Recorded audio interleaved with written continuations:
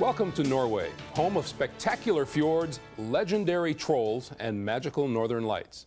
Hello, everyone. I'm Greg Gumbel, delighted to help you relive